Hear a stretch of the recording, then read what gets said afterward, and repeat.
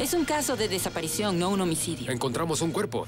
Cuando el hijo de una prominente familia es asesinado, la detective Bradley se halla en medio de una red de mentiras y engaños. ¿Podría explicarnos por qué nadie nos dice nada? El pasado y el presente chocan en una batalla épica de secretos. No es tu primera vez, ¿o sí? Secretos de sangre. Gran estreno. Domingo 16 de julio a las 8 de la noche. Solo en Veme.